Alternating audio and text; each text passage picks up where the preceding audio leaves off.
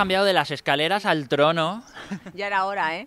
Hoy para preguntarte por la nueva tronista, justamente Elisa, ex, concursante de Supervivientes, ¿cómo la has visto en su estreno? Pues le he visto mejor de lo que yo pensaba, porque normalmente, aunque tengan cierta experiencia, aunque vengan muy contentos, aunque tengan mucha ilusión, siempre el primer día impone mucho, todo el mundo estamos pendiente, además no se sabía, se había escuchado por ahí, pero no se había confirmado y realmente me ha gustado muchísimo. Le ha costado ahí un pelín eh, lo, lo que es bajar las escaleras y sentarse en el trono, pero yo creo que en cuanto se ha sentado ha dicho aquí estoy yo y es una persona que, vive el momento y se, se le nota y, y, se ha comprobado en cuanto ha empezado a hablar con Ruth y ha tenido claro quiénes son estos tres chicos de aquí, son tus pretendientes, por favor, preséntamelos, ¿no? Ha sido muy divertido.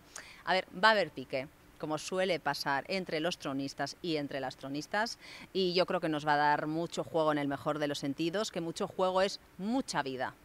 Justamente eso, Ruth y Stacy se llevaban bastante bien, son amigas. No, ¿eh? íntimas. Íntimas. íntimas amigas. Por lo tanto, ¿crees que va a ser un foco de conflicto el que sean compañeras ahora de trono Elisa y Ruth? Mira, Ruth eh, ya ha demostrado que mm, eh, no, tiene, no tiene ningún feeling con su nueva compañera, que son muy diferentes, y de momento ella va mm, más poco a poco. Bueno, mm, ha sido sincera y, y, y le ha dado la bienvenida, pero de una manera un poco fría para lo que es ella. Hemos visto ya los primeros piques en el programa, piques, piques sanos y normales de dos tronistas que quieren encontrar a alguien especial y, y, que bueno, que probablemente haya cambio de bando de pretendientes y estas cosas.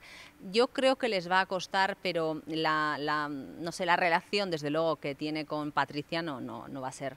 Esto, esto se ve, se ve. Ojalá, ¿eh? Me equivoque. Hemos podido ver en este primer programa que Madre ha sido una de las personas que más ha atacado directamente a Elisa diciendo realmente lo que piensa de ella. ¿Crees que va a ser ahí un poco la que ponga, la que la ponga firme? Es que sabéis lo que pasa. Eh, cuando ha entrado Elisa no sabían quién era. Entonces es muy curioso cuando baja y yo empiezo a escuchar un montón de informaciones y de comentarios. Y madre ha sido tajante, no le ha gustado la tronista, a ver, no, no le ha gustado. Luego hay que conocerla un poquito más y, supongo que se abrirá. Ella es tan explosiva que, que, quizá mucha gente solo se queda en eso. Cuando ya has leído una entrevista y te cuentan ciertas cosas de ella y hablas con ella, ves que hay mucho fondo, ¿no? Pero la primera impresión no, no le ha gustado. Y como aquí somos tan directos, pues lo ha dicho nada más entrar, ¿no? Elisa ya es un personaje conocido por el público, justamente de Telecinco, y han pasado varios rostros que ya han estado en otros realities o en otros programas. ¿Tú estás a favor o en contra de que las personas que se sientan aquí ya sean conocidas? A mí me da igual. Mira, con tal de que sea una persona que quiera disfrutar, que quiera divertirse, que vaya a aprovechar la experiencia y que sea sincera y, y, aproveche esta oportunidad para encontrar o para intentarlo a alguien especial, me da igual que sea más o menos conocida. O sea, realmente se trata de que, de que ellos disfruten para que todos presentadora y espectadores sigamos disfrutando y vayamos a por los ocho años de programas, ¿no?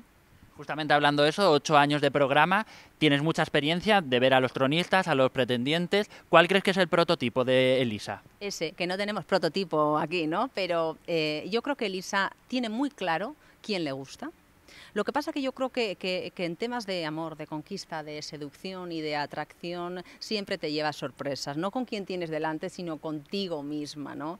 Entonces, más allá de lo que, de lo que quiera, de lo que piense, de lo que le guste, eh, creo que va a ser ese momento de, de este me, me, atrae, va a, ser, va a ser pasional, va a ser de un primer mom momento de, de flechazos, creo, ¿eh? Y esa pasión y ese flechazo se transmitirá como Stacy en plan que besará a todo el mundo y no tendrá ningún tipo de problema. ¿La ves de ese tipo? No lo sé, no lo sé porque la veo muy explosiva y a veces las más explosivas luego son las más, no voy a decir recatadas, pero las que van más despacio. Fíjate, Labrador, Labrador que parece que se va a comer el mundo y luego es como dame mi momento, no me fuerces a darte un beso. Entonces he visto tantas cosas y realmente momentos tan distintos y tan diferentes que es lo bueno que tiene este programa, que a la presentadora después de tanto tiempo le siguen sorprendiendo, ¿no? Bueno, y para finalizar, estábamos hablando fuera de cámara, que en este primer programa ha habido mucho baile. Sí. ¿Para cuándo Emma García nos va, nos va, a hacer un gran baile para celebrar esos ocho años, por ejemplo? O los diez. Venga, para los diez años. Además, eh, te lo comentaba antes, que como todos bailan también, he decidido que el listón está muy alto y que voy a seguir practicando y ensayando. Aunque hoy me reía mucho con los gemelos porque hemos venido así como en el mismo color y parecía que la que iba a bailar soy yo. Pero no, afortunadamente para vosotros no. ¿Te comprometes entonces aquí que para el décimo aniversario Emma García una gran coreografía en plató? Sí, porque como luego se me va a olvidar, sí, sí, sí, me comprometo. Nosotros vendremos a recordártelo, Emma. Ojalá, ojalá, voy a ir ensayando por si acaso. Bueno, pues muchas gracias. Gracias a vosotros.